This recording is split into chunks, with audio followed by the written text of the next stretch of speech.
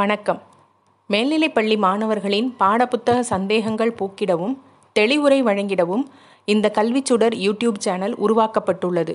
உங்கள் கருத்துக்கள் மற்றும் சந்தேகங்களை எங்களிடம் பகிர கீழே டிஸ்கிரிப்ஷனில் கொடுக்கப்பட்டுள்ள இமெயில் ஐடியை தொடர்பு கொள்ளவும். இன்னைக்கு நாம் படிக்க போகிற லெசன் லெசன் ஒன் ஃபங்க்ஷன்ஸ் இந்த லெசனோட லேர்னிங் அப்ஜெக்டிவ்ஸ் என்னெல்லாம்னு பார்க்கலாம்.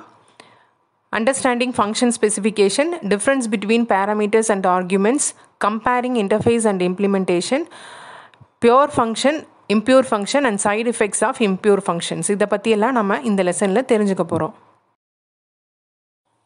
இப்போது சப்ரூட்டீன்ஸ்னால் என்னன்னு பார்க்கலாம். Subroutines are the basic building blocks of computer programs ஒரு கம்ப்யூட்டர் ப்ரோக்ராமோட பேசிக் பில்டிங் பிளாக்கு சப்ரூட்டீன்னு சொல்கிறாங்க எக்ஸாம்பிளுக்கு பார்க்கலாம். ஒரு பில்டிங் கன்ஸ்ட்ரக்ட் பண்ணுறோன்னு வச்சுக்கலாம். அந்த பில்டிங்கோட பேசிக் யூனிட் என்னன்னு பார்த்தீங்கன்னா அதோட பிரிக்ஸ் செங்கல். செங்கல் வச்சு அடிக்கி அடிக்கி தான் நம்ம பில்டிங்கை வந்து உயரமாக கன்ஸ்ட்ரக்ட் பண்ணுறோம் அதே மாதிரி ஒரு கம்ப்யூட்டர் ப்ரோக்ராமை வந்து லென்த்தியாக கன்ஸ்ட்ரக்ட் பண்ணணும் அப்படின்னா அதில் சப்ரூட்டீன்ஸ் ஃபங்க்ஷன்ஸ் கண்டிப்பாக வேணும். அப்போது இது வந்து எப்படி இருக்கும் அப்படின்னா லென்த்தி ப்ரோக்ராமாக இருக்காது. ஒரு smaller part of the code இந்த கோடிங்கோட ஒரு சின்ன பார்ட்டாக தான் இருக்கும். இதை வந்து ஃபங்க்ஷன்ஸ்னு சொல்லலாம்.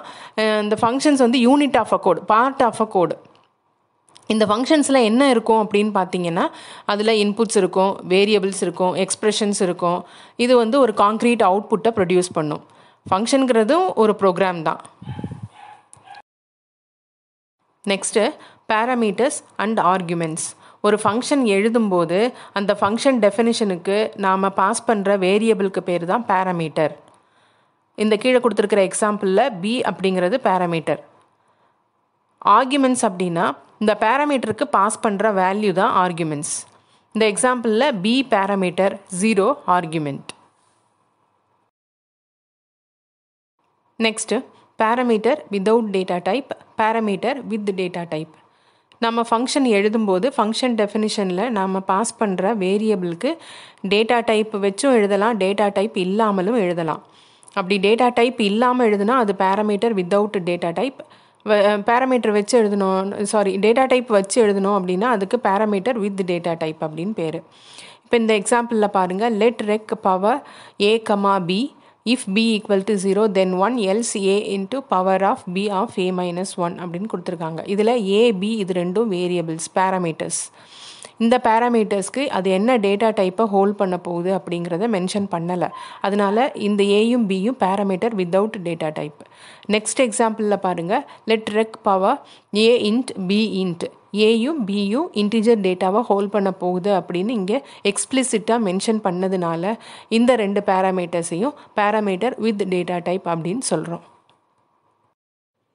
இதுவரை நடத்தப்பட்ட பாடப்பகுதிக்கு வினாடி வினா கொடுக்கப்பட்டுள்ளது. அதற்கு பதிலளிக்க முயற்சி பண்ணுங்க விடைகளும் உடனேயே இணைக்கப்பட்டுள்ளன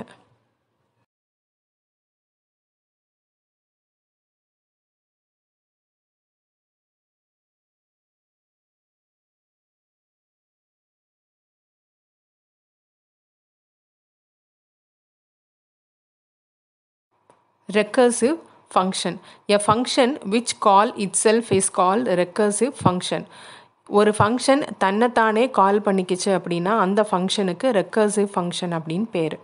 இப்போ இந்த எக்ஸாம்பிளில் பாருங்கள் இன்ட் ரெக்கர்ஷன் இதில் ரெக்கர்ஷன் அப்படிங்கிறது ஃபங்க்ஷனோட நேமு எக்ஸ் அப்படிங்கிறத அந்த ஃபங்க்ஷனுக்கு பாஸ் பண்ணியிருக்கிற பேராமீட்டர் அதே ஃபங்க்ஷனுக்கு உள்ள ரெக்கர்ஷன் எக்ஸ் மைனஸ் ஒன் அப்படின்னு கொடுத்துருக்காங்க.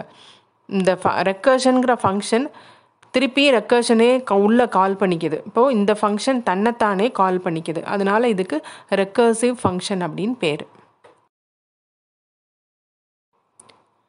நெக்ஸ்ட் டாபிக் இன்டர்ஃபேஸ் இன்டர்ஃபேஸ்னால் என்ன? Set of action that an object can do அதை தான் என்னன்னு சொல்கிறாங்க இன்டர்ஃபேஸ் அப்படின்னு சொல்கிறாங்க உங்களுக்கு நல்லா புரிகிற மாதிரி சொல்கிறதா இருந்தால் ஒரு எக்ஸாம்பிள் சொல்லலாம். இப்போது நம்மளோட குவார்ட்டர்லி எக்ஸாம் டைம் டேபிள் வச்சுக்கலாம். இந்த டைம் டேபிளில் என்னெல்லாம் இருக்கும் அப்படின்னு பார்த்தீங்கன்னா எந்த டேட்டில் எக்ஸாம் கண்டக்ட் பண்ண போகிறாங்க டேட்டு டைமு அந் அந்த டேட்டில் என்ன எக்ஸாம் நடக்கும்? அப்படிங்கிற டீட்டெயில்ஸ் எல்லாம் அந்த டைம் டேபிளில் இருக்கும். இப்போது இந்த டைம் டேபிள் வந்து என்னவா ஆக்ட் ஆகும் அப்படின்னா இன்டர்ஃபேஸாக ஆக்ட் ஆகுது. இங்கே ஆப்ஜெக்ட் யாருன்னா ஸ்டூடெண்ட்ஸ் தான் ஆப்ஜெக்ட் இவங்க இந்த ஸ்டூடெண்ட்ஸ் இந்த ஆப்ஜெக்ட் என்ன செய்யணும் அப்படின்னா அந்த டைம் டேபிளில் கொடுத்துருக்கிற செட் ஆஃப் ஆக்ஷன்ஸை ஃபாலோ பண்ணணும். இந்த இன்டர்ஃபேஸ் வந்து என்ன செய்யணும் அப்படிங்கிறது தான் நமக்கு சொல்லித்தருமே தவிர எப்படி செய்யணும் அப்படிங்கிறத நமக்கு சொல்லாது. இதை தான் இன்டர்ஃபேஸ்ன்னு சொல்கிறோம்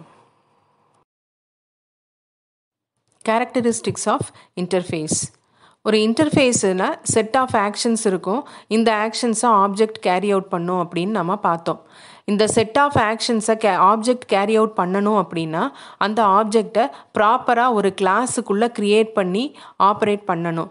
இது ஒரு இன்டர்ஃபேஸோட ஒரு கேரக்டரிஸ்டிக்ஸ் இன்னொன்று வந்து ஒவ்வொரு ஆப்ஜெக்ட்டுக்கும் அந்த ஆப்ஜெக்ட்டுக்குன்னு தனியான ஆட்ரிபியூட்ஸும் பிஹேவியரும் இருக்கும். அந்த ஆட்ரிபியூட்ஸையும் பிஹேவியரையும் கண்டிப்பாக அந்த இன்டர்ஃபேஸ் கண்ட்ரோல் பண்ணணும். இது நம்ம ஏற்கனவே சொன்ன டைம் டேபிள் எக்ஸாம்பிளோட இப்போ சேர்த்து பார்க்கலாம் நம்ம. இப்போ டைம் டேபிளில் நமக்கு என்ன கொடுத்துருப்பாங்கன்னா எந்த டேட்டில் எக்ஸாம் நடக்கும் என்ன டைமில் நடக்கும் எந்த சப்ஜெக்ட் நடக்கும் அப்படிங்கிறத ஸ்பெசிஃபிக்காக சொல்லியிருப்பாங்க. அதாவது பத்தாம் தேதி காலையில் பத்து டு ஒன்று தமிழ் எக்ஸாம் பன்னெண்டாம் தேதி காலையில் பத்து டு ஒன்று இங்கிலீஷ் எக்ஸாம் அப்படின்னு ஸ்பெசிஃபிக்காக நமக்கு சொல்லியிருப்பாங்க. அப்படி இல்லாமல் சும்மா காமனாக எந்த டேட்டில் வேணாலும் யார் வேணாலும் டெஸ்ட் எழுதிக்கோங்க அப்படின்னு சொன்னால் அது வந்து ஒரு ப்ராப்பர் எக்ஸாமாக இருக்குமானா கண்டிப்பாக இருக்காது. அப்போது அவங்க என்ன செய்கிறாங்க கண்ட்ரோல் பண்ணுறாங்க என்ன கண்ட்ரோல் பண்ணுறாங்க இந்த டேட்டில் இந்த டைமில் இந்த எக்ஸாம் தான் நடக்கணும் அப்படின்னு அந்த ஆப்ஜெக்டோட பிஹேவியரை கண்ட்ரோல் பண்ணுறாங்க அதே மாதிரி ஒரு இன்டர்ஃபேஸ் வந்து கண்டிப்பாக ஒரு ஆப்ஜெக்டோட பிஹேவியரையும் அதோட ஆட்ரிபியூட்டையும் கண்ட்ரோல் பண்ணணும். இது ரெண்டும் தான் இன்டர்ஃபேஸோட characteristics next topic pure function இந்த எக்ஸாம்பிளில் பாருங்கள் square x return x into x ஸ்கொயருங்கிறது ஃபங்க்ஷனோட நேமு எக்ஸுங்கிறது அந்த ஃபங்க்ஷனுக்கு பாஸ் பண்ணியிருக்கிற பேராமீட்டர் அந்த பேராமீட்டரை டூ டைம்ஸ் யூஸ் பண்ணுறோம் எக்ஸ் இன்டூ எக்ஸ் இப்போது சப்போஸ் இந்த எக்ஸுக்கு வந்து நான் ஃபைவ்னு ஒரு ஆர்குமெண்ட் கொடுத்தேன்னா five into five equal to twenty five அப்படிங்கிற ஒரு டெஃபினட் அவுட்புட்டை இந்த ஃபங்க்ஷன் கொடுக்கும். இது மாதிரியான ஃபங்க்ஷனுக்கு பேர் pure function a function which will give exact result when the same arguments are passed are called pure functions இப்போது இம்பியூர் ஃபங்க்ஷன்னா எப்படி இருக்கும்னு பார்ப்போம். இதில் இம்பியூர் ஃபங்க்ஷனில் என்ன பண்ண மாட்டாங்க அப்படின்னா ஃபங்க்ஷனுக்கு பேராமீட்டர் பாஸ் பண்ண மாட்டாங்க. இன்னொரு வேல்யூவை டிபெண்ட் பண்ணி தான் இந்த இதுக்கு வர்ற அவுட்புட் இருக்க போகுது. இந்த எக்ஸாம்பிளில் பாருங்கள் A equal to random if A greater then zero then return A else return ten ரேண்டம்ங்கிறது ஃபங்க்ஷனோட நேமு இந்த ஃபங்க்ஷனுக்கு எந்த பேராமீட்டரும் பாஸ் பண்ணலை ஆர்குமெண்ட்ஸும் கொடுக்கல. வெளியில் அதுக்கு அடுத்து வந்து ஏ கிரேட்டர் தென் ஜீரோவான்னு செக் பண்ணுறோம் அப்படி செக் பண்ணும்போது அந்த கண்டிஷன் ட்ரூவாக இருந்தால் ஏயை ரிட்டர்ன் பண்ணும். ஃபால்ஸாக இருந்ததுன்னா டென் ரிட்டர்ன் பண்ணும். அப்போ இந்த ஃபங்க்ஷனுக்கு அந்த ரேண்டம் அந்த ஏக்கு கொடுக்குற வேல்யூவை பொறுத்து அது என்ன அவுட்புட்டை வேணாலும் கொடுக்கும். இந்த அவுட்புட் தான் வரும் அப்படின்னு டெஃபினட்டாக நம்ம சொல்ல முடியாது. இந்த அவுட்புட் வந்து மாறிட்டே இருக்கலாம். இதுக்கு எக்ஸாம்பிள் இம்பியூர் ஃபங்க்ஷனுக்கு வந்து நம்ம எக்ஸாம்பிள் சொல்கிறதா இருந்ததுன்னா நம்ம ஃபோனுக்கு வர ஓடிபியே சொல்லலாம். நம்ம ஃபோன் நம்பருக்கு நம்ம இப்போ பேங்க்குக்கோ இல்லைன்னா ஏதோ ஒரு ஆப் நம்ம இன்ஸ்டால் பண்ணுறோன்னா ஓடிபி வருது இல்லையா? அந்த ஓடிபி வந்து எப்போ பாத் எப்போ எத்தனை தடவை நீங்கள் கே கேட்டாலும் ஓடிபியை சென்ட் பண்ண சொன்னாலும் ரீசென்ட் பண்ண சொன்னாலும் வேறு வேறு ஓடிபி தான் வரும். வேறு வேறு நம்பர் தான் வரும். நீங்கள் இந்த நம்பர் தான் வரும் அப்படின்னு உங்களால் டெஃபினட்டாக சொல்ல முடியாது. அந்த மாதிரி ஃபங்க்ஷன்ஸ் எல்லாமே இம்ப்யூர் ஃபங்க்ஷன் இந்த இம்பியூர் ஃபங்க்ஷன்ஸ்க்கு கண்டிப்பாக சைடு எஃபெக்ட்ஸ் உண்டு. Difference between pure function and impure function pure ஃபங்க்ஷனோட return value அந்த ஃபங்க்ஷனுக்கு பாஸ் பண்ணுற ஆர்கியூமெண்ட்ஸை டிபெண்ட் பண்ணி தான் இருக்கும். ஆனால் இம்பியூர் ஃபங்க்ஷன் ஆர்குமெண்ட்ஸை டிபெண்ட் பண்ணி இருக்காது.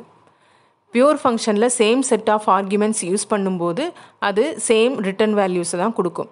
எக்ஸாம்பிள் நம்ம ஏற்கனவே பார்த்ததில் எக்ஸ் வந்து ஃபோர்னு வேல்யூ கொடுத்தேன்னா எக்ஸ் இன்ட்டு எக்ஸ் சிக்ஸ்டீன் கிடைக்கும். ஃபை எக்ஸுக்கு ஃபைவ்னு வேல்யூ கொடுத்தோன்னா five into five twenty five கிடைக்கும். அதே இது இம்பியூர் ஃபங்க்ஷனில் சேம் செட் ஆஃப் ஆர்குமெண்ட்ஸ் கொடுத்தோம் அப்படின்னா டிஃப்ரெண்ட் ரிட்டன் வேல்யூஸ் தான் கிடைக்கும். சேம் ரிட்டன் வேல்யூ கிடைக்காது. எக்ஸாம்பிள் ரேண்டம் டேட்டு ரேண்டம்ங்கிறது ரேண்டம் நம்பர் நான் ஏற்கனவே ஒரு எக்ஸாம்பிள் சொன்னேன் ஓடிபி ஓடிபி வந்து ஒவ்வொரு தடவை ஓடிபி வரும்போதும் வேறு வேறு ஓடிபி தான் வருமே ஒழிய இதுதான் வரும் அப்படின்னு நம்மளால் கன்ஃபார்மாக சொல்லவும் முடியாது. ஒரே ஓடிபி திருப்பி ரிட்டன் திருப்பி வர்றதுக்கு வாய்ப்பு இல்லை. அது மாதிரி டேட்டும் அப்படி தான் கரண்ட் டேட்டுன்னு நம்ம கெட் பண்ணோன்னா கரண்ட் டேட் என்னவோ அதுதான் கொடுக்கும். டைம் டேட்டு இதெல்லாமே நம்ம இம்பியூர் ஃபங்க்ஷனுக்கு நம்ம எக்ஸாம்பிளாக சொல்லலாம். அடுத்து பியூர் ஃபங்க்ஷனில் சைடு எஃபெக்ட்ஸ் கிடையாது இம்ப்யூர் ஃபங்க்ஷனில் சைடு எஃபெக்ட் உண்டு. பியூர் ஃபங்க்ஷனோட ஆர்குமெண்ட்ஸை வந்து நம்ம மாடிஃபை பண்ண மாட்டோம் ஆனால் இம்ப்யூர் ஃபங்க்ஷனோட ஆர்குமெண்ட்ஸை மாடிஃபை பண்ணுவோம். இப்போது இம்ப்யூர் ஃபங்க்ஷனோட சைடு எஃபெக்ட்ஸ் பற்றி பார்க்கலாம். எப்போ ஒரு impure function side effect create பண்ணுது அப்படின்னா ஒரு வேரியபிளை ஃபங்க்ஷனுக்கு வெளியில் மாடிஃபை பண்ணும்போது சைடு எஃபெக்ட்ஸை க்ரியேட் பண்ணுது. இந்த எக்ஸாம்பிள் பாருங்கள் ஒய்யோட வேல்யூ ஜீரோ ஐஎன்சின்னு ஒரு ஃபங்க்ஷன் வச்சுருக்காங்க. அதுக்கு parameter x y is equal to y plus x return y இப்போ ஒய்யோட வேல்யூ வந்து என்ன கொடுத்துருக்காங்கன்னா ஜீரோன்னு கொடுத்துருக்காங்க. எக்ஸுக்கு வேல்யூ எதுவும் கொடுக்கல. எக்ஸுக்கு நாம் இன்புட் வாங்குகிறோம் எக்ஸுக்கு நம்ம வேல்யூ கொடுக்கும்போது ஒய்யையும் எக்ஸையும் ஆட் பண்ணும்போது ஒய்யோட வேல்யூ ஆட்டோமேட்டிக்காக மாறும். எக்ஸோட வேல்யூ கொடுக்குறத பொறுத்து ஒய்யோட வேல்யூ சேஞ்ச் ஆகிக்கிட்டே இருக்கும். அப்போ இங்கே வந்து என்ன பண்ணுது? ஃபங்க்ஷனுக்கு வெளியில் ஒரு வேரியபிளை நம்ம சேஞ்ச் பண்ணும்போது ஆட்டோமேட்டிக்காக அது கொடுக்குற அவுட்புட் மாறிக்கிட்டே இருக்குது அப்படிங்கிறது தான் இந்த இன் impure ஃபங்க்ஷனோட side effect chameleons of Chromeland problem இந்த ப்ராப்ளம் என்னன்னு பார்க்கலாம். ஒரு கேஜ் இருக்குதுன்னு வச்சுக்கலாம். அந்த கேஜில் பதினாலு கெமிலியான்ஸ் இருக்குது மூணு வேறு வேறு கலரில் ரெட்டு ப்ளூ க்ரீன் எத்தனை ரெட்டு எத்தனை ப்ளூ எத்தனை க்ரீன் இருக்குதுன்னு தெரியாது. டோட்டலாக ஃபோர்டீன் கெமிலியான்ஸ் இருக்குது இதில் ஒரு கண்டிஷன் சொல்கிறாங்க என்ன கண்டிஷன்னா ரெண்டு டிஃப்ரெண்ட் கலர்ஸில் உள்ள கெமிலியான்ஸ் மீட் பண்ணும்போது அது தேர்டு கலராக சேஞ்ச் ஆயிடுது அப்படின்னு சொல்கிறாங்க ஃபார் எக்ஸாம்பிள் ஒரு ப்ளூவும் ரெட்டும் மீட் பண்ணுச்சுன்னா இந்த மீட் பண்ணுற ரெண்டு கெமிலியானும் க்ரீன் கலரில் மாறிடும். ஒரு க்ரீனும் ப்ளூவும் ரெண்டு கெமிலியான்ஸ் மீட் பண்ணுச்சு அப்படின்னா மீட் பண்ணுற ரெண்டு கெமிலியான்ஸும் ரெட் கலரில் மாறிடும். புரியுதா? ஏதாவது ரெண்டு கலரில் உள்ள கெமிலியான்ஸ் மீட் பண்ணும்போது அது தேர்டு கலராக மாறிடும் அப்படிங்கிறது தான் கண்டிஷன் கொஸ்டின் என்ன கேட்குறாங்க அப்படின்னா எப்போ இந்த ஃபோர்டீன் கெமிலியான்ஸும் ஒரே கலரில் இருக்கும்? எந்த கண்டிஷனுக்கு இந்த ஃபோர்டீன் கெமிலியான்ஸும் சேம் கலரில் இருக்கும் அப்படிங்கிறது தான் கொஸ்டின் இந்த ப்ராப்ளமோட சொல்யூஷனில் ரெண்டு இம்பார்ட்டண்ட் திங்ஸ் இருக்குது ஒன்று இந்த மூணு கலரில் உள்ள கெமிலியான்ஸும் வெவ்வேறு நம்பரில் இருந்தது அப்படின்னா for example red seven blue three green four அப்படின்னு வேறு வேறு நம்பரில் இருந்தது அப்படின்னா எப்பயுமே இந்த ஃபோர்டீன் கெமிலியான்ஸும் ஒரே கலராக மாறுறதுக்கு சான்ஸே இல்லை. அப்போது எப்போ இந்த ஃபோர்டீன் கெமிலியான்ஸும் ஒரே கலரில் மாறும் அப்படின்னு பார்த்தீங்கன்னா ஏதாவது ரெண்டு கலரில் உள்ள கெமிலியான்ஸ் ஈக்குவல் நம்பரில் இருக்கணும். For example red four blue four green six இல்லைன்னா blue four green four red six இப்போ அட்லீஸ்ட் ரெண்டு கலரில் உள்ள கெமிலியான்ஸ் வந்து ஈக்குவல் நம்பரில் இருந்தால் மட்டும்தான் அந்த கேஜில் உள்ள எல்லா ஃபோர்டீன் கெமிலியான்ஸும் ஒரே கலரில் சேஞ்ச் ஆகிறதுக்கு சான்ஸ் இருக்குது இப்போது இந்த ப்ராப்ளம்க்கு சொல்யூஷன் பார்ப்போம். எக்ஸாம்பிளில் capital A comma B comma C is equal to four comma four comma சிக்ஸ்ன்னு கொடுத்துருக்காங்க ரெண்டு கெமிலியான்ஸ் ஈக்குவல் நம்பரில் இருக்குது ஏ ஃபோர் பியும் ஃபோரு சி சிக்ஸு இதுதான் இன்புட்டு நமக்கு அவுட்புட் என்ன கிடைக்கணும் அப்படின்னா எல்லா கெமிலியான்ஸும் ஒரே கலரில் இருக்கணும். அப்போது ஏ ஜீரோவாக இருக்கணும் பி ஜீரோவாக இருக்கணும் C is equal to A plus B plus C இதான் நமக்கு அவுட்புட்டாக கிடைக்கணும். இப்போ இந்த இந்த ஐட்ரேஷனை டேபிளர் காலமில் போட்டிருக்காங்க. ஜீரோத் ஐட்ரேஷனில் ஏயும் ஃபோரு பியும் ஃபோரு சி சிக்ஸு ஃபஸ்ட் ஐட்ரேஷனில் ஏல ஒரு கெமிலியானும் பியில் ஒரு கெமிலியானும் மீட் பண்ணுது. அது சி கலருக்கு மாறிடுது. ஸோ ஏல ஒன்று குறையும் பியில் ஒன்று குறையும் சியில் ரெண்டு கூடும். செகண்ட் ஹைட்ரேஷனில் ஏல ஒரு கெமிலியானும் பியில் ஒரு கெமிலியானும் மீட் பண்ணுது. இந்த ரெண்டும் மூணாவது கலருக்கு மாறிடுது. அப்போது ஏல ஒன்று குறையும் பியில் ஒன்று குறையும் சியில் ரெண்டு கூடும். அடுத்த ஹைட்ரேஷன்லேயும் அதே தான் ஏல ஒன்று குறையும் பியில் ஒன்று குறையும் சியில் ரெண்டு கூடும். நெக்ஸ்ட்டும் ஏல ஒன்று குறையும் பியில் ஒன்று குறையும் சியில் ரெண்டு கூடுது. இப்போ ஃபைனலாக ஃபோர்த் ஹைட்ரேஷனில் என்ன ஆச்சு அப்படின்னா ஏயோட வேல்யூ ஜீரோன்னு பியோட வேல்யூ ஜீரோ சியோட வேல்யூ ஃபோர்டீன் அதாவது A plus B plus C zero plus zero plus fourteen equal to fourteen அப்போ எல்லா கெமிலியான்ஸும் ஒரே கலரில் சேஞ்ச் ஆயிடுச்சு அல்காரிதமில் அதான் சொல்கிறாங்க இஃப் ஏ கிரேட்டர் தென் ஜீரோவாக இருந்ததுன்னா A minus one B minus one C plus two இல்லைனா A zero B zero C is equal to A plus B plus C எல்லா கெமிலியான்ஸும் ஒரே கலரில் ஆயிடுச்சு இதுதான் கெமிலியான்ஸ் ஆஃப் குரோம்லேண்ட் ப்ராப்ளமோட சொல்யூஷன் இதுவரை நடத்தப்பட்ட பாடப்பகுதிக்கு வினாடி வினா கொடுக்கப்பட்டுள்ளது. அதற்கு பதிலளிக்க முயற்சி பண்ணுங்க. விடைகளும் உடனேயே இணைக்கப்பட்டுள்ளன.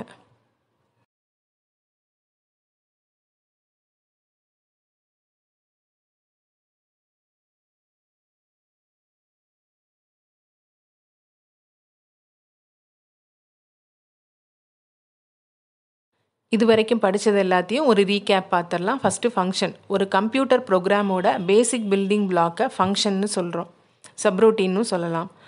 இந்த ஃபங்க்ஷன் டெஃபினிஷனுக்கு நாம் யூஸ் பண்ணுற வேரியபிளுக்கு பேர் பேராமீட்டர்ஸ் இந்த வேரியபிளுக்கு கொடுக்குற வேல்யூக்கு பேர் ஆர்குமெண்ட்ஸ் இன்டர்ஃபேஸ் அப்படின்னா ஒரு ஆப்ஜெக்ட் என்னெல்லாம் ஆக்டிவிட்டி பண்ணணும் அப்படிங்கிற செட் ஆஃப் ஆக்ஷன்ஸை சொல்கிறது இன்டர்ஃபேஸ் இன்டர்ஃபேஸ் சொல்கிற செட் ஆஃப் ஆக்ஷன்ஸை கேரி அவுட் பண்ணுறது தான் இம்ப்ளிமெண்டேஷனோட வேலை. பியூர் ஃபங்க்ஷன் அப்படின்னா same set of arguments use பண்ணும்போது சேம் ரிட்டன் வேல்யூஸ் கொடுத்ததுன்னா அந்த ஃபங்க்ஷனை பியூர் ஃபங்க்ஷன்னு சொல்கிறோம் same set of arguments use பண்ணும்போது டிஃப்ரெண்ட் ரிட்டன் வேல்யூஸ் கொடுத்ததுன்னா அந்த ஃபங்க்ஷனை இம்பியூர் ஃபங்க்ஷன் அப்படின்னு சொல்கிறோம் இம்பியூர் ஃபங்க்ஷன் சைடு எஃபெக்ட்ஸை க்ரியேட் பண்ணும். எப்போ அப்படின்னா ஒரு வேரியபிளை ஃபங்க்ஷனுக்கு அவுட் சைடில் மாடிஃபை பண்ணோன்னா அந்த இம்பியூர் ஃபங்க்ஷன் சைடு எஃபெக்ட்ஸை க்ரியேட் பண்ணும்.